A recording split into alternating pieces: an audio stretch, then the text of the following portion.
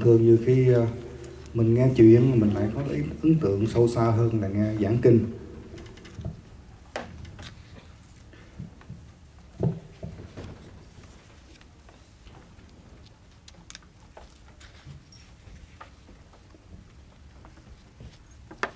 Hồi nãy, mình nói là cái chữ a sở thế, nó có nghĩa là hai chữ là thứ nhất là chiếc chỉ thì là gãy ngón tay ngón, cái ngón tay thứ hai là vị sanh oán. Bây giờ mình giải thích ý nghĩa thứ hai.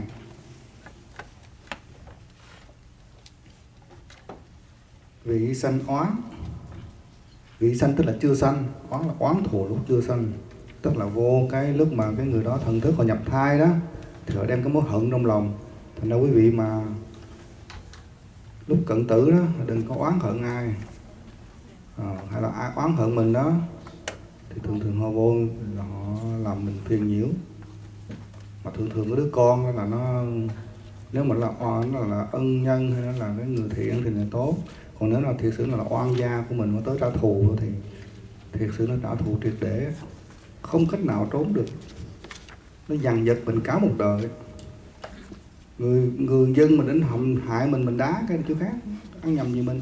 Nhưng đứa con mình nó hại mình mình bỏ không được chết chứ. Biết là nó làm mình khổ mà phải ôm nó bởi vì là cái là cái nợ khủng khiếp. Nhưng mà dĩ nhiên là mình không có nói vậy đâu. Không có nghĩa là đứa con nào cũng là như vậy. Mình nói có những trường hợp như vậy thôi. Thì đây là do đề bà đặt ra khởi tâm đố kỵ nên mới thuật lại cho thái tử nghe những nhân duyên ngày trước. Vì sao do tâm đố kỵ mà khởi ác duyên? Bởi vì đề đạt đặt ba à, xin lỗi này hồi tình tiếng tập hàng luôn. Bởi vì đề bà là người tính tình bạo ác. Tuy xuất gia, nhưng thường ôm lòng ghen ghét đức phật được danh văn lợi dưỡng. Thực sự đề bà đặt ra đâu có tơ ý muốn xuất gia đâu. Khi mà đức phật thành đạo 6 năm thì trở về ca tỳ la vệ để mà thăm phụ vương cùng bà gia dùn la la hồ la cùng những cái người quyến thuộc. Thì đức phật ra đường đi khất thực. Thì cái tình trạng nói con là thái tử cùng một nước, ta có thể cung cấp tất cả những gì con cần dùng, tại sao con phải đi qua đường con đi theo ăn xin? Thì đức phật giải nghĩa cho sự mà, ý nghĩa của sự khất thực. Thì nhà vua nhìn những cái người 1250 vị đệ tử của Đức Phật thì người nào ấy mặt mày lam lũ, ốm yếu, bệnh hoạn, gầy còm. Bởi vì họ tu ngoại đạo, họ tu khổ hạnh mà. Với lại thường thường đó những người mà tu hạnh a la hán đó là họ ít bố thí, họ ít tu phước. Họ chú trọng đến tuệ thì nó có hình tướng, họ không được trang nghiêm. Thì nó gầy còm, rồi người người bị bệnh, rồi bị ấy. Nó coi lam lũ, có giống như một lũ ăn mày vậy đó nhà tôi nói nhà tôi hết. Con mình là chân mạng là thờ chuyển luân thánh vương. 32 tướng tốt 80 vẻ đẹp mà đi một một lũ ăn mày như này, dở bẩn. Con khốn khổ quá. Thì nói rất về về mới là kêu các người trong hoàng tộc đó, đi xuất gia để theo hầu đức phật. Thì dĩ nhiên các vị hoàng tử nó toàn là những người ăn no, mặc đẹp. Thì nên người nào ấy một ú mà trắng nõn nè. Đề bà đạt đa là một trong người đó bị chỉ định đi xuất gia. Chứ không phải Đề bà đạt đa có tâm xuất gia đâu. Đó. bà đạt đa rồi sau đó a nan. Rồi a gì đó, có một vài người nữa, tại cũng quên tên a nan a nan đà cũng được. A nan là em ruột của đề bà. Thì kêu là anh em chú bác. Phật, Đức Phật là con của bác còn đề bà với A Nan là con của chú. Thành ra cái người này là tính tình từ nhỏ mà. Theo làm thiền Đức Phật từ lúc mà Đức Phật còn ở vương cung lận, rồi dành bà Gia Du Đà La với là Đức Phật. Thành ra có cái tâm đối với đức phật luôn luôn là hiềm khích hiềm khích, luôn luôn muốn gây sự. Thành ra trong cái bồ tát giới tại du già đã nói đó, cái người nào mà tính tình hung bạo mà thích hay gây sự đó, không có nên độ cho họ không nên nói pháp cho họ nghe. Bởi vì họ không học được gì mà còn có thể mà làm phiền mình nữa. Nhưng mình dĩ nhiên là đức phật uh, độ cho đề bà là bởi vì phụ vương muốn như vậy. Thành ra ông này ông theo phật nhưng mà thật sự ông rất là ghét đức phật. Lúc nào ông cũng muốn hại á nhưng mà chưa có dịp. Bây giờ ông thấy đức phật được danh văn danh văn là tiếng tốt Thấy không? được ta khen ngợi được ta ca tụng là danh văn lợi dưỡng thì đừng cúng dường nhiều. Cơm ngon áo đẹp phòng xá được không? Thấy ông cấp cô độc là lót vàng mà xây cái uh, cảnh sát kỳ viên cho nhà vua ông còn ờ, ngủ không yên. Vua tần bà sa la là một vị đại thí chủ của phật thường đem rất nhiều phẩm vật đến cúng dường mỗi lần như vậy chở đến 500 xe. Ồ, tưởng tượng có thiệt không ta? 500 xe là sao chất nào mà chợ chợ đậu đầy hết đâu phải không? Mà mỗi cái như vậy những món bảy báo nhiều vàng bạc vân vân y phục quý giá các món ngon thượng hạng. Mà thật sự thì hôm qua thầy nói đó đức phật không có chủ trương khổ hạnh. Ngài nhận y tấm y mà gì? Kêu là mình kêu là gì? Dệt bằng vàng sợi chỉ vàng đó. Cúng dường ngài cũng nhận. Mà những cái món ngon nhất của các vị trời đem xuống ngài cũng thọ nhận. Thành ra đức phật không bao giờ chủ trương tu khổ hạnh mỗi vân vân ngoài ra lại còn đoàn tùy tùng trăm ngàn người mang theo hương, hoa, âm nhạc rầm rộ kéo đến, đem phẩm vật cúng dường đức phật và chúng tăng. Đề bà thấy vậy, tâm đố kỵ lại càng dữ dội. Bèn đi tìm ngài xá lợi phất cầu học thần thông. Mục đích học thần thông đây là lại, là gì? Đi sắp sửa muốn đi tìm danh văn lợi dưỡng. Thấy không? Thành ra có những người kia là cái gì? Tà mệnh tức là dùng phép tà để mà sinh sống. Bây giờ mới đầu tiên là dĩ nhiên là đi tìm ngài xá la phất bởi vì ngài xá la phất là đại đệ tử của phật. Thành ra đến tìm ngài đại tử bởi vì ngài xá la phất ở trong uh, lịch sử thì nói là đức phật có 10 vị đại đệ tử phải không? Người mà thần thông đệ nhất là ai? Người trí tuệ đệ nhất là ai? Ừ, trì giới đệ nhất. Trời sống gió chắc cái này nhân viên sinh viên đại học đến đây đó. Khi đang dạy lớp tiểu học có sinh viên đại học ngồi trong đây đó. Ngột ngạt quá vậy. Không nhưng mà thật sự đó ngài sẽ lại phất trí tuệ đệ nhất nhưng mà thần thông đệ nhất luôn. Nhưng mà đức phật chỉ nhấn mạnh đến một khía cạnh nào cho mỗi người thôi. Không? câu chuyện có lần. Như là quý nghe rồi gì ngày sau phất ngồi nhập định đó mà ngày kiên liên hai với ngày sau phất hai người bạn thân. Cái ngày kiên liên thấy ngày sau phất ngồi nhập định cái muốn phá chơi không? Cái gì dùng thần lực lại kéo cái à, cái vai cái treo áo của kéo cà sao này mới nào tưởng giỡn chứ tưởng kéo là, là người bật tung là gì. Kéo không nổi dụng hết thần thông kéo không nổi. Một cái chéo áo cũng không lay động. Ừ, chứng tỏ là ngài sáng là phát thần thông còn hơn là ngài một kiền liên nữa Thấy không? Rồi con lần này à, sáng là phát ngồi nhập định cái con quỷ mấy con đại lực quỷ nó chạy ngang thấy ngài sáng là phát đó. Nó cũng như khởi trong ác tâm của nó lấy cái búa nó quýnh trong cái bụng cái là tỉnh hồn ngày xúc định đó. Đầu hơi, ê ê chú này không biết gì không biết con con gì nó cắn cái đầu ê đầu thấy không. Cái lực cái búa nó đập một cái là núi tu di tan tành đó. Không. Thành ra ngài sẽ là phát là thần thông khủng khiếp, nhưng mà bởi vì muốn chú trọng đến một cái phương diện là của cho mỗi người để họ nổi bật, thì nói là ngài sai không phật là trí tuệ đệ nhất, ngài một kiền liên là thần thông đệ nhất, nhưng mà không phải, ngài xá là phất là thần thông đệ nhất thì bây giờ mới đi tìm ngài Sa La phất gì bọn biết mà ngài Sa La phất là thần thông đệ nhất. Thì ngài Sa La phất trước. Nhưng mà ngài Sa La phất không có dạy mà nói là ông nên về tu tứ niệm xứ, không cần học thần thông. Bởi vì biết ý định của ông rồi, bởi vì mấy cái ngày này có tha tâm thông. Biết ý niệm của đề bà rồi. Rồi bây giờ không nản chí đề bà lần lượt tìm 500 vị tỳ kheo khác, tức là 500 vị đại tỳ kheo. 500 vị đại a la hán đến cầu học thành thông. Thì các ngài cũng từ chối, không chịu dạy.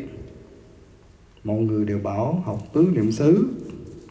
Diễn viên nói tứ niệm xứ, ông ờ, đề bà ông đó rành rọt rồi, phải không? Cuối cùng đề bà đi tìm ngài a lan nói, tôi là anh thầy, nay muốn học thần thông, xin thầy dạy cho tôi thì là ông dĩ nhiên ông là anh mà. Ngã nan tuy chứng sơ quả, nhưng chưa đắc tha tâm thông. Không biết đề bà vì muốn hại phật và cầu học. Bèn hẹn ông ta đến một nơi vắng vẻ chỉ dạy. Cái à, tu mà thánh quả đó, nó có hai con đường để đi. Một con đường mà đi theo trí tuệ, một con đường đi theo thiền định giả sử mà cái vị mà chứng a la hán đó mà dùng trí tuệ để chứng đó thì gọi là huệ giải thoát. Huệ tức là trí huệ đó huệ giải thoát. Thì mặc dù họ chứng được a la hán nhưng mà không phát thần thông. Tức là những người đó không có thần thông. Giống như mình là bình thường thôi nhưng mà trong đầu thì họ tự tại rồi. Nhưng mà họ vẫn bị cái ví dụ như mình đánh người ta đánh như như là hồi nãy nói đó, bà liên hoa sắc là a la hán, nhưng bạch tại không có thần thông bà là huệ giải thoát. Thành thế khi đề bà đặt ra bụp cái là chết ngắt, chết tức thì. Thành ra, còn cái một cái phương hướng khác là đi theo thần thông. Thì khi mà đi thần thông đó, đi là thiền định đó, thiền định nó mới phát thần thông. Thì khi mà chứng a la khoa hán quả mà có thần thông đó, thì gọi là tự tại giải thoát. Lúc đó là biến là nhỏ, biến lớn có thể biến thân nghĩa là hiện lên không trung rồi ở thân dưới phần dưới nó phun nước rồi phần trên nó xịt lửa ví dụ vậy. Hay là đưa tay rờ mặt trời mặt trăng ví dụ. Hay là bay chung quanh núi tu di một nghĩa là một hàng trăm ngàn ngàn vòng ví dụ đó. Nó phát đắc những thần thông gọi là lâu lục thông. Bởi vì a la hán thì được lục thông còn ngoại đạo thì chỉ có ngũ thông thôi. Ngài a, a nan này chứng sơ quả nhưng mà không có thần thông. Thành ra không biết không có tha tâm thông thành ra không biết ông ông anh của mình nghĩ cái gì. Chỉ nói là ông yêu cầu ông học thần thông thì vì nể anh mà dạy thì dưới đây nè ông có cái phép là để dạy thần thông nè. Quý vị muốn học thì đọc cho kỹ rồi về nhà luyện thử coi sao. Không thể sẽ nói rõ ràng nè. Đây nè đọc nghe, nghe kỹ nghe thọ tiên ngộ kiết già quán tưởng là đang dùng tâm nhất thân lên bắt đầu quán tưởng bay lên khoảng một phân một tấc. Kế đến quán tưởng bay lên độ một thước một trượng. Sau đó nhiếp tâm quán tưởng mình bay về chỗ cũ. Bây giờ thực hành liền đấy sao được không? Có thật không. À ở tôi nghĩ còn ăn.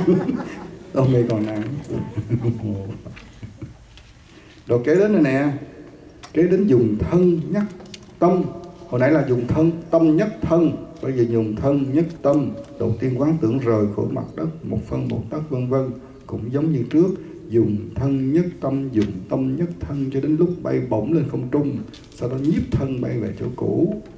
Kế đó quán tưởng thân tâm nhất lên cùng lúc, một phân một tấc vân vân, cũng giống như trước. Kế đó quán tưởng thân tâm xuyên qua các sắc chất, hoàn toàn không bị chướng ngại. Sau đó quán tưởng các sắc chất như núi, sông, đại địa nhập vào thân mình giống như hư không không bị chướng ngại, không còn thấy sắc tướng. Kế đến quán tưởng tự thân, hoặc to lớn trùng khắp hư không. Nằm ngồi tự tại, hoặc nằm hoặc ngồi, lấy tay sờ mó mặt trời mặt trăng.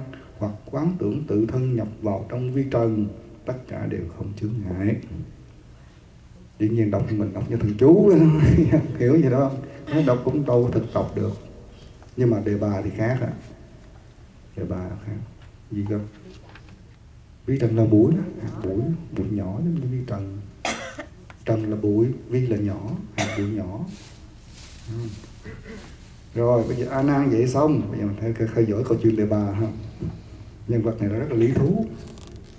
Đề bà bèn tìm một nơi yên tĩnh trong 7 ngày đêm nhất tâm chuyên chú tập luyện chứng đắc thần thông. Có 7 ngày 7 đêm. Trong khi nhiều khi lục uh, tôi ngoại đạo nó tu mấy chục năm á. Bởi vì ông này căn cơ rất là mạnh ông ông rất là giỏi chứ không phải không đâu. Nhưng mà các người cái tâm không tránh thành ra thông minh chưa chắc là thông minh. Thì nếu mà không đủ điều khiển nó, nó đỡ là nó hại mình. Tất cả đều được thành tựu đều được tự tại. Tức là nãy giờ cái dạy đó không? Biến nhỏ biến lớn sợ mặt trời sợ mặt trong bay trong di nhập vào trong hạt bụi được là làm đủ thứ, ông làm được hết. Sau đó ông bèn đến cung điện thái tử a xà thế đó, bay lên không trung hiện đại thần biến. Thân trên phun nước, thân dưới phun lửa, hoặc là không trái phun nước, không phải phun lửa. Thì lúc đó mình coi giống như là cái là những gì đó. Không? Lúc đó biểu diễn khủng khiếp trên trên không trung mình thấy mình cũng cũng là trong tấm tắc khen khen ha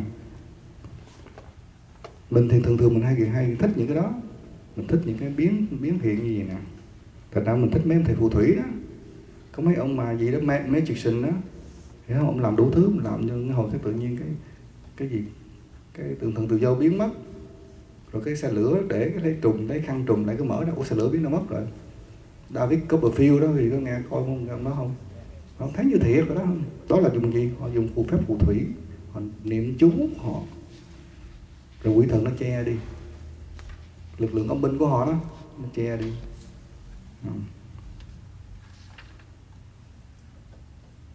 Họ, họ mấy người họ đứng chung quanh họ có tin đâu. Họ chạy xuyên qua có phải là ông này cũng làm gì không? Thì chạy qua đâu thấy gì đâu. Chạy trên khoảng không vậy đó. Mặc dù cái cái xe lửa vẫn nằm đó. Thấy không? Nhưng mà người ta không thấy được. Không không có đụng nó được.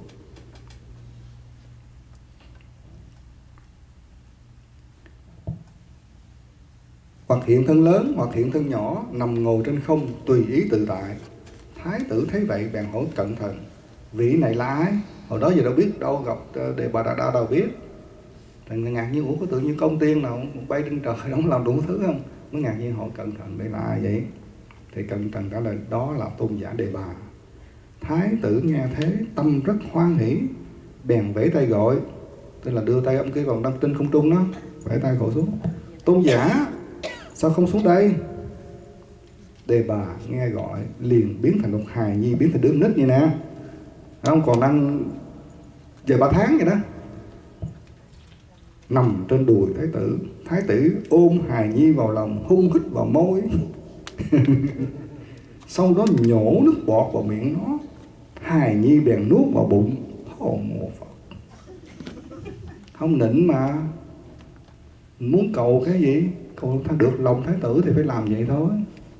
Hiểu không? Làm nhục nhưng mà hiểu không? Đó giờ? Bây giờ đang cầu thái tử mà là nó không có liêm sĩ không có liêm sĩ một lát sau hoàng hiện thân cũ. Thái tử thấy đề bà hiện nhiều thần tướng, càng thêm bội phục. Thấy không? Bây giờ là được lòng thái tử rồi đề bà thấy thái tử kính ngưỡng mình. Ngưỡng này là gì biết không? Ngưỡng là ngước lên, là ngưỡng mộ bèn tâu lên chuyện vua cha cúng dường Đức Phật 500 xe phẩm vật. Thì bây giờ để mục đích đến đây là để cầu cái đó thôi. Thấy Đức Phật được 500 xe, mình cũng muốn 500 xe gì đi kìm con. Thái tử nghe xong bèn nói với đề bà, ta cũng có thể cúng dường 500 xe phẩm vật cho tôn giả và chúng tăng lẽ nào không bằng Phật đề bà nói ý kiến tuyệt diệu giống như đọc phim ờ, trưởng cái Phú Dung vậy ha. Từ đó về sau đề bà được cúng dường trọng hậu càng lúc càng trở nên kiêu mạn nữa rồi có danh có lợi dưỡng rồi. Hàng năm mấy người giàu đó không coi giàu chút đỉnh bắt đầu thấy họ nhìn mặt khác à. không thực sự là vậy. Mấy người mới giàu đó thường thường mình nhìn cái mặt họ, họ sao không, không giống hồi xưa hồi xưa lỗ mũi họ thấp mà sao giờ lỗ mũi nó cao dữ. Thấy không? Cái là bệnh bệnh chung của chúng sinh thôi. Cái người những người mà cái phước mà thường thường mà được phước mà nó hơi chút đỉnh phát ra đó mà dỗ dàng mà lên mặt đó thì những người đó cái phước nó xìu xuống rồi còn những người mà một trước sau như một đó từ ngày nghèo cũng như ngày giàu không có gì thay đổi cái người đó phước rất bền rất là lâu. Bây giờ không bị tổn ông đức cái kiêu mạng nó làm tổn cái ông đức của mình rất lớn. Thế là tại sao các vị, tất cả thánh nhân hay tất cả những hiền nhân đều tôn, đều mà ca ngợi cái sự khiêm nhượng là vậy? Thành ra là mình thích cái người khiêm nhượng, hiểu không? Thành ra mình mà giả sử phước phát nào khoan khoan lên lên chân cái nào từ từ. Ví như lấy gậy đập vào mõm chó làm cho nó càng hung dữ. Việc cúng dường này cũng tương tự như vậy. Thái tử đem gậy lợi dưỡng đập vào mõm chó đề bà làm cho ông ta càng lúc càng thêm hung ác. Đây là một ví dụ phải không? À, Thà Thế cầm cái gậy lợi dưỡng đập vào cái mõm chó đề bà thì con chó này nó càng lúc càng lên hung, hung dữ. Thì càng nên kiêu mạn, càng hung ác thêm. Tưởng mình là ngon rồi càng lúc càng có đức có đức Phật không ra gì hết à, hồi xưa thấy Đức Phật còn nể nể chút, giờ được thái tử ủng hộ rồi. Cũng 500 xét, đâu sợ, đâu thua gì đó gì gì phải sợ không do nhân duyên này, đề bà bèn khởi tâm phá tăng. Bây giờ muốn làm Phật nè. Được lợi dưỡng rồi, bây giờ muốn làm Phật. Tức là cậu gì? Danh văn. Không? Lợi dưỡng chưa đủ. Cũng giống như người ngoài đời vậy đó, mấy ông tỷ phú. Bây giờ muốn làm chính trị chỉ vậy được chức thượng nghị sĩ này chức tổng thống kia để bởi vì cái ông là tỷ phú ít mấy người biết đến thì ông cầu danh ra ông bỏ tiền ông mua danh. Ông chạy ứng cử gì làm chính trị là được người ta gì biết những tiếng nhiều nhất gì nữa. Đề bà, đề bà bèn khởi tâm phá tăng Cải đổi giới luật của Phật Tuyên truyền dĩ kiến. Biết đề bà làm gì khác Đức Phật không? Đề bà mới nói đặt ra năm pháp năm pháp. Thấy không? Là bắt buộc cả đời phải đi khất thực. Không được nhận lời ứng cúng Tức là người ta thỉnh đến nhà là nhất định không được đến. Rồi không được Nghĩa là phải suốt đời Nghĩa là ngồi gốc cây. Không có được vô ngủ trong nhà. Rồi một cái cuối cùng quan trọng nhất mà mình bị bây giờ mình bị người ta xuyên tạc đó là biết gì không? Ăn chay trường mồ phật thành ra có người giờ họ nói là mình ăn chay trường là mình là đệ tử của đế hoạt đạch đó hiểu không? Ăn không được ăn thịt cá. Chỉ được ăn rau cải thôi, ngũ cốc thôi. Mục đích không phải là gì hết là đức phật. Lúc đó thì dĩ nhiên là còn khất thực. Thì đức phật vì muốn không muốn là mình phải làm phiền thí chủ. Bây giờ ví dụ đến nhà quý vị đi khất thực đến trước cửa nhà người ta. Bây giờ người ta đang nấu ăn cái gì người ta còn dư người ta cho mình thì mình phải nhận chứ. Còn nói cho, cho tôi miếng tàu hũ. Ví dụ bây giờ người ta có tàu hũ thôi cho mình. Ta phải chạy ra chợ ta mua cái tàu hũ cho mình làm phiền người ta không? Phải không? Bây giờ cho con cá bột những nhảy vô bát thôi thì ăn chứ sao phải không? Thành ra nhưng mà dĩ nhiên là ấn độ còn mình cái mà khất thực qua đến đài loan ở xin lỗi phải đài loan qua đến trung quốc á thì nó biến chất. Đầu tiên đó khi đạo phật mới qua thì các ngài cũng đi khất thực. Nhưng mà khất thực ở bên ấn độ và khất thực trung hoa hai ý nghĩa nó khác nhau. Cái người Ấn Độ mà nhìn cái người mà khất sĩ đó không đắp áo nghĩa là ngoại sắc là, nghĩa là đi khất thực đó thì đó là dáng dấp của những người thanh cao. Từ bỏ danh lợi, không còn màng đến những vật chất thế gian. Người Ấn Độ họ thấy hình tướng đó, họ lại sùng kính. Còn người Tàu thì không. Cầm cái đồ đi ra đứng ngoài đường, thanh niên thấy rõ ràng, mới hai ba, hai mấy ba chục tuổi, khỏe mạnh vậy mà không đi làm, mà đi xin ăn. Thì dưới con mắt người tàu đó đó là đồ ăn mày ký sinh trùng, vô ích cho xã hội. Người tàu không có đầu óc đâu thần, đâu có kiểu mà tôn sùng mấy người ăn mày như ở ấn độ đâu. Thành qua đến cái bên tàu thì cái thức thực không còn hợp thời nữa. Mà người tàu như ở ấn độ, hai cái phong tục gần như tương phản. Thí dụ như đối với người ấn độ đó ví dụ như khi mà tôn kính đó, thì vạch áo bên phải đề vào đưa vai bên phải ra để tỏ là cung kính. Nhưng mà người tàu sao áo kính lại đưa vai là hỗn đưa vai là vô lễ mất lịch sử. Còn người người ta ấn độ đi chân không gặp một cái vị một cái vị mà trưởng lão tỏ lòng tôn kính phải đi chân không. Còn đúng gặp ông vua mà đi chân không vô trời đó ở cái mặt dám phạm khi quân đưa bằng chân cho tao coi hả? Xấu quá. Thành ra hai cái tư tưởng nó khác biệt hết trơn à. Không thích nào dung hợp được hết. Thành ra các người mà đi khất thực bị chướng nghi duyên chướng ngại rất nhiều. Còn vấn đề mà tại sao mà không còn mặc cái y của đức phật mà phải mặc như vậy là, đưa là lương á ta nghĩ là lương là đi các thầy cũng vô trong cung cũng mặc đắp y thầy kiểu năm truyền đó. Ờ, nhà vua rất là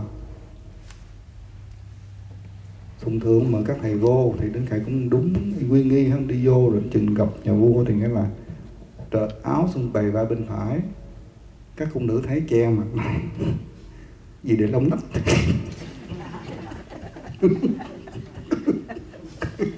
Xin lỗi thầy dẫn chơi. Có lộ liễu của thấy sao mà họ nhìn không quen họ nhìn không quế, thấy không?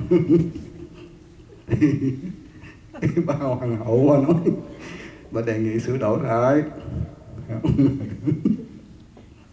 Cho các thầy nữa. Cũng mặc áo này áo này là phải là áo của các thầy tu đâu. Áo này là của qua các quan đây chứ. Không cái này thiệt sứ, mấy ông thực có có ai cá có bội không? Mấy gì đi quất quất đi nè. Không thể sợ thầy thầy biểu diễn sống động như người nghe không cái này áo cụ quan đó.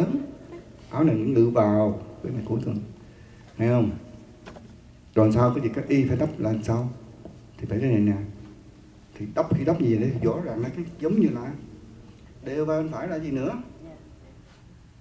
Đúng không? Cái y nó xuống đây rồi đâu có đập, cái y nào có đắp trên trên nữa đâu. Thành ra vẫn là đưa vai bên phải nhờ vai bên phải về sao? Đắp lại rồi. Hiểu không? Thì đó là tại sao mà bên khoa Trung Hoa nó biến gì thành ra cái bên người bên năm truyền họ không hiểu, họ nói mình không phải đắp y Phật. Cái y áo nó tùy theo quốc độ. Ở bên Ấn Độ, ở bên Tích Lan, ở bên các xứ Nam truyền nó khác. Họ theo văn hóa Ấn Độ còn bây giờ cái đạo Phật du nhập vào Trung Hoa thì phải theo cái phong tục người Hoa. Nếu mà cưỡng lại họ thì làm sao sinh tồn được? Nội là còn tùy thuận họ mà họ còn không cho sinh tồn. Mấy ngàn năm họ có quýnh hoài. Bị mấy ông nho với mấy ông lão. Tối ăn hiếp Phật giáo. Thành ra biến thành cái y như vậy đó là một cái ấy. Thành ra cái vấn đề khất thực đó, bên tàu đến mà sau này đến đời đường đó khi mà thiền tông bắt đầu hưng thịnh lên đó, thì mới, họ mới rút lên núi. Cái ngày đầu tiên, người đầu tiên chủ trương là tự cá, tự canh, tự thực là ngài ất trượng hoài hải. Từ sau đó về sau, các vị sư trung hoa không còn đi thất thực. Tự về nhà canh tác, nấu nướng, ăn, không có còn đi xin người ta nữa. Thì đạo phật biến thành đạo phật của trung hoa, không phải đạo phật ấn độ nữa thành ra cái gì cũng vậy. Nhập gia thì tùy tục. Muốn sinh tồn với họ lâu dài thì phải tự mình thích ứng với người ta. Chứ không nào mà ôm chặt cái hình tướng của mình rồi nói là đây là đây là nguyên thủy, đây là nguyên chất. Còn cái kia là biến dạng, không phải vậy. Đạo phật là nó sống động, nó thích ứng từng hoàn cảnh, từng quốc độ.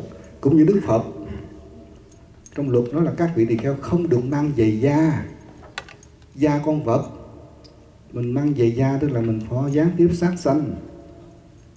Thì khi mà ngài, thầy nghĩ là một vị tỳ kheo nữa, vị ờ, a la hán nào qua bên cái cái nước ở ao phú hãn vậy đó, thì lúc đó là toàn là đất đá không à. Đâu có giống ấn độ, đâu, ấn độ là bình nguyên đất đòn bằng phẳng. Nếu mà đi chân không thì nó sẽ làm sao chịu nổi thì vị tỳ kheo nó mới trở về bạch phật là thưa đức phật. Bây giờ đức phật cho phép chúng con mang giày da, đức phật nói, được. Đức phật mình không phải là một người cố chấp vào hình thức nào hết. Tùy cái sự mà cần thiết đức phật cho phép dùng. Cho nên là học luật cũng phải hiểu như vậy. Chứ không phải bắt buộc phải như vậy như vậy như vậy. Cho nên bên đại thừa mình phải sống động mới được. Mình trở lại đây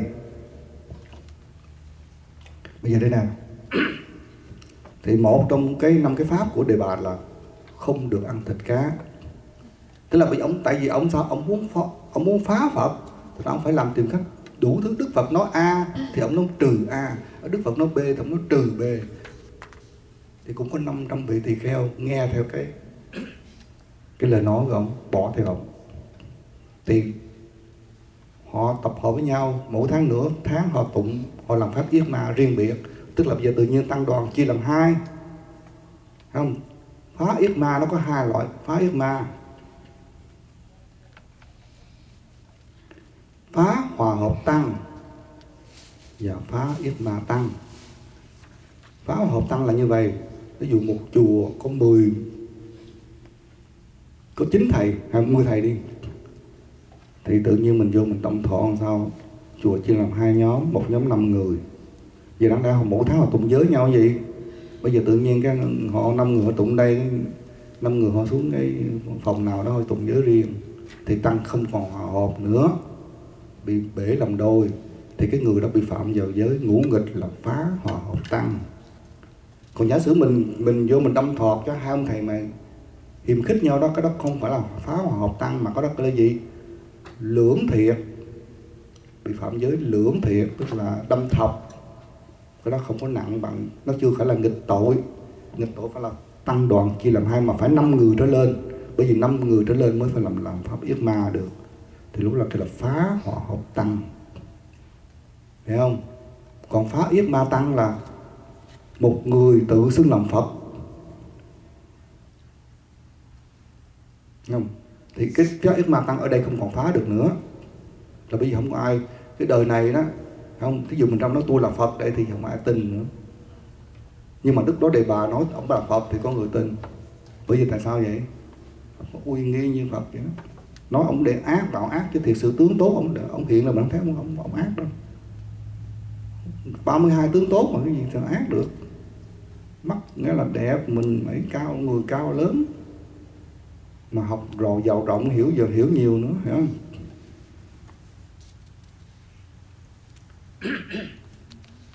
bây giờ, xong rồi. Chia được, ông có tăng đoàn rồi. Ông có 500 đệ tử rồi. Ngon lành rồi không? Một tháng một tháng hay nhiêu đó, được 500 xe. Rồi có 500 đệ tử nữa. Giờ không phải không? Làm Phật mới được. Bây giờ đi tìm Phật nói. Giờ làm Phật, đi tìm Phật là thương lượng. Thương lượng giao chức Phật cho ông. Đề bà đèn bèn đến trước Phật nói, Đức Phật đã lão suy phải nên tìm nơi hẻo lánh tịnh dưỡng, yêu cầu ngài giao chúng tăng cùng pháp tạng cho tôi trưởng quản. Mọi người nghe xong đưa mắt nhìn nhau, cảm thấy vô cùng quái lạ. Lại kêu, yêu cầu Phật phải giao chức Phật cho ông không, giao chức Phật cho ông, để ông được làm Phật. Phật đã lão suy. Lúc đó Phật nhiêu tuổi thầy cũng không biết nhưng mà lại bà đặt ra có nhỏ tu không phải không? Ông cũng bằng tuổi Phật mà ông kêu Phật lão suy còn không lão gì không? Cái này ngang đứng là ngang không nói năng ngang được. Vô duyên cái là thiệt sự cứ gì? Tự nhiên đến nói những câu thiệt là vô duyên phải tìm nơi hảo lắm để tịnh dưỡng. Ai cần ông lo cho phải không? Ai cần ông lo? Lúc đó có phát xá là phát có, có một kiền điên có tất cả những vị đại tỷ tử nhìn nhau. Biết bữa nay ông này ông là ông có hóa điên hay không? Bây giờ đức phật mình thấy đức phật là không hiền rồi. Lúc đó đức phật đức thế tôn ở trước đại chúng nó mới đề đặt nó mới đề bà. Nó thẳng trước mặt đại chúng. Các ông xá lợi phất một kiền liên thuộc hàng trưởng lão mà tao còn chưa đem Phật pháp giao phó, huống chi ông là cái uống nước bọt người khác, nói thẳng vào mặt. Đây là lần một không phải là lần độc nhất Đức Phật. Ác khẩu thì hiện nói ác ác ngôn. Bởi vì nhân vật đề bà này là không thể trị được. Thành ra mình trong thế gian cũng vậy, mình dạy con mình cũng vậy. Bên đây thì dĩ nhiên không được rồi đó là có những nó ly quá thì phải đem roi giọt nó vậy nó. Nhưng mà dĩ nhiên đây là nay nay quanh quanh kêu liền mà thôi mình ô tô liền. Nó khổ vậy. Bây giờ bên đây bởi vì cho nên cái người bên được nuôi dưỡng bên đây này cái ngã họ bù lắm. Bây giờ họ được tưng bốc từ nhỏ rồi, họ được được nuông chiều, họ được ca tụng bản ngã. Rồi thành ra cái người ở sinh trưởng nước này, một cái ngã nó to rồi đụng một cái là nó sẽ kiện mình ra tòa đụng một cái là nó sẽ đưa mình ra, ra, ra pháp luật. Nói chuyện mình bằng pháp bằng luật pháp chứ không nói chuyện trực tiếp. Nó có luật sư. Mình không xứng đáng nói chuyện trực tiếp họ họ có luật sư nói chuyện với mình. Dĩ nhiên là mỗi cái nền văn hóa nào khác mình cũng không nói là họ xấu mình không tốt. Dĩ nhiên Việt Nam mình không phải là cái gì cũng tốt hơn ta nhưng có những cái mình thấy nó cũng hơi nó cũng hơi mình chưa thầy cũng chưa chưa chấp nhận được. Thiệt sự là vậy thầy qua đây từ năm 75 lúc đó thầy mới 21 22 tuổi à. Bây giờ thầy gần 60 rồi thầy cũng chưa chấp nhận được cái cái, cái lệ đó của người Mỹ. Nhưng mà dĩ nhiên mình ở đâu mình phải chấp nhận cái luật lệ của họ. Bây giờ nên cứng cái có những cái người ở đệ tử khi mà nó cương cường quá rồi thì lúc đó lời ngọt nói đạo lý không cải đổi họ được. Ừ phải cho họ một cái roi rất mạnh vào đầu, thì đức phật đánh một cái roi rất mạnh vào đầu ông đề bà kỳ này. Nhờ cái roi này nè, mà sau này ông mới hối cải? Bây giờ ông chưa hối cải nhưng mà ông sẽ hối cải. Chứ đức phật nói ờ, ờ con ờ, để ta nhường con ngôi là cho em, mà hay gì đó thì chẳng không có vụ đó. Ông càng lúc càng điên cuồng hơn, ông càng ngạo mạn hơn, ông càng hung dữ hơn cái người này phải quánh bằng một cái lời ác độc như vậy. Và nói đức phật mà nhiều khi, đôi khi phải thể hiện nói những lời không được ngọt ngào. Chứ cứ đừng mình cứ tưởng đức phật là ngồi yên vậy. Ai để bên đông thì ngã bên đông mà để bên tây thì ngã bên tây câu đầu cốc cốc thì cứ nắm môi với đạo phật. Một hình ảnh sai lầm của một cái người, của quý vị đối với người xuất gia. Khi mà ông thầy hiện tướng mạnh mẽ để trưởng quản. Thì quý vị nói là ông thầy hung dữ. Rồi với ông thầy mà người ngồi đâu đó thì ông thầy nhu nhược thành ra các thầy thiệt là khổ. Bị quý vị trưởng quản thì nó không làm được việc gì hết. Thành ra xuất gia đời này khổ lắm. Thành ra bây giờ thầy, ai mà nói muốn xuất gia thì nó khuyên khoan khoan. Suy nghĩ lại suy nghĩ lại thiệt kỹ đi. Xuất gia không phải là ở cái quốc độ này không phải là hình tướng đẹp để hoàn truyền Phật pháp. Bởi vì thế luật tăng đoàn đang suy vi. Mà người tại gia thì không chịu học Phật, không chịu ủng, nghiên cứu giáo lý, không chịu tu dưỡng để hộ trì Phật pháp. Các vị cứ đẩy cho quý thầy, mà quý thầy cái thế lực càng lúc càng yếu dần rồi bị phân tán rồi bây giờ chia ra năm bảy nhóm rồi chửi nhau đánh nhau càng lúc càng suy yếu. Thì các ngài không còn năng lực để trưởng quản Phật pháp nữa. Thì nếu mà các vị không chịu đứng ra học Phật thì vài ba chục năm nữa Phật pháp Việt Nam mình đây sẽ bị suy vong. Thì không có không có nói giỡn đâu. Bởi vì mỗi ngày ngoại đạo nó rút bớt cái tín độ của mình qua kia rút bớt. Nó lấy ống hút nó hút từ từ cái nước mình nó cạn dần. Không nó siphon đó là nó phon nó, nó cái người cứ đổi đạo từ từ đổi đạo từ từ. Và đó là một cái bi thảm, bi bi kịch của Phật giáo. Mà mình không biết đâu không? Mình cứ tiếp tục là chỉ nhìn lỗ mấy thầy, rồi bắt lỗ mấy thầy, rồi phỉ bán mấy thầy. Rồi trên mạng lưới dâm tăng này, dâm tăng kia nọ biết toàn thế giới nghe. Tưởng vậy là là hay, mấy người thầy tại gia họ làm những điều mình thấy rất là ngang ngược, mà rất là phi lý và vô lễ đối với người xuất gia như vậy. Mà không tự ý thức họ cung cấp tài liệu cho ngoại đạo để muốn nó viết những cuốn sách là tập giặt thầy chùa giặt thầy gì đó. Chính là mình cung cấp dữ liệu, dữ kiện cho chính ai, sao nó biết được? Nếu không phải là những người nằm vùng như mình cung cấp tài liệu cho nó. Thành ra nhiều khi mình nằm vùng đó là người nằm vùng. Thành ra cái vấn đề mà hộ trì Phật pháp không nghĩa là đi chửi mấy thầy, không phải vậy. Thành ra bây giờ mình học Phật để mình ủng hộ Phật pháp. Giờ trở lại đây để bà bị Đức Phật chửi xong sao? Đề bà nghe Phật hủy nhục mình trước đại chúng, như bị tên độc bắn trúng tim, càng trở nên điên cuồng sân nộ. Đây giờ mới làm bày cho thái tử thả vô dữ nè. Thấy không? Còn ông ở trên núi, ông lăn đá là đức phật.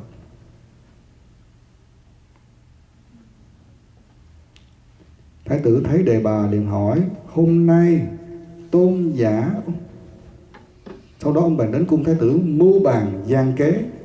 Thái tử thấy đề bà bèn hỏi, hôm nay tôn giả vì sao mặt mũi tiều tụy không giống mọi lần? Mỗi lần đến là hớn hở hớn hở, tươi cười là bởi vì được 500 xe lợi dưỡng không, ăn no phì ra vậy nè. Béo tốt. Mặt mày hồng hào, hôm nay bị chửi một câu như hoa héo mùa xuân vậy đó. Thấy không? Đến héo hon vậy nè.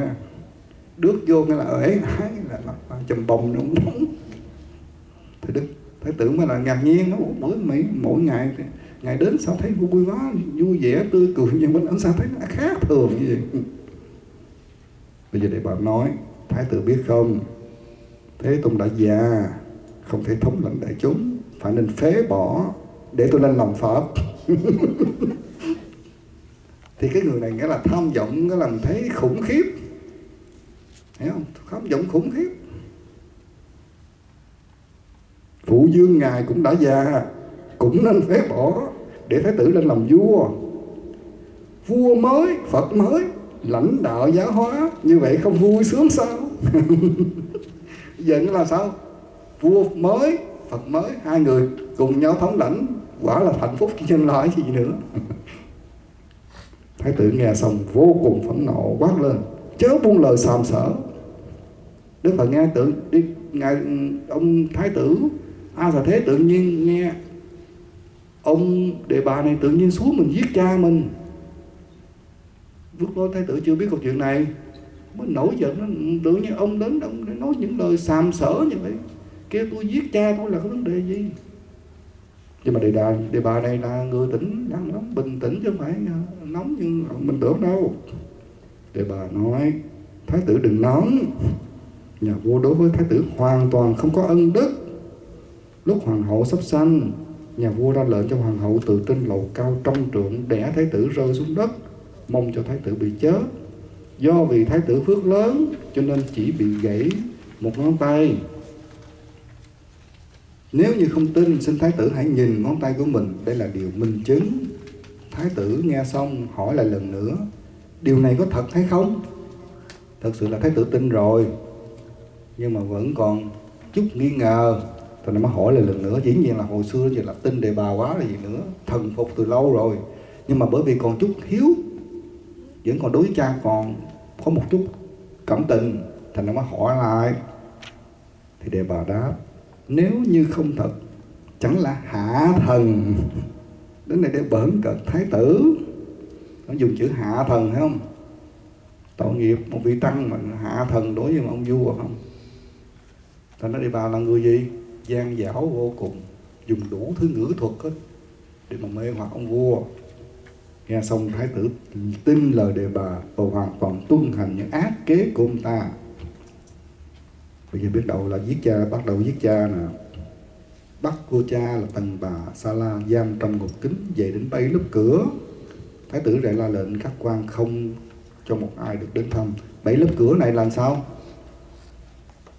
Bảy lớp tường, qua bảy lớp. Phải không? Phải qua bảy cái cửa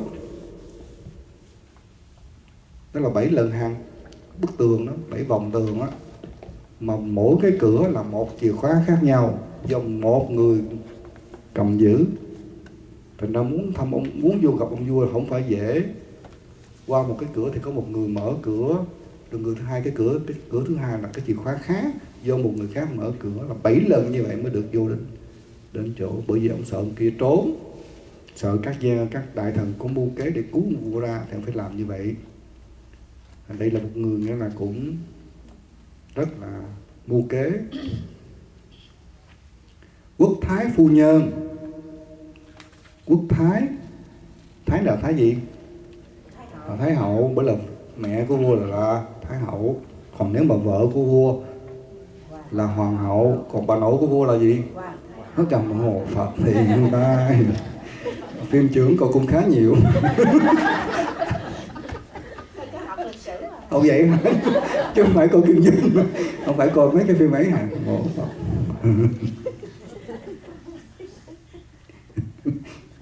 không cái đó là cũng nên học vì bởi vì người tu của Bồ Tát thì phải học đủ thứ không pháp môn nào cũng phải học đó.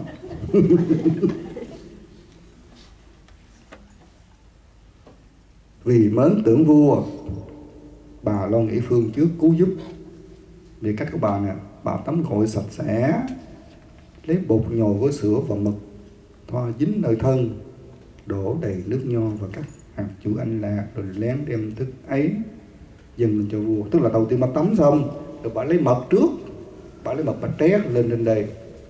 Bà trét lên trên người, xong rồi bà lấy bột á, bà mới đắp nó lên. Như vậy nó mới dính. Còn giả sử bà nhồi bột trước, bà đắp lên thì đâu có dính được. Thành ra bà là người làm mật trước rồi.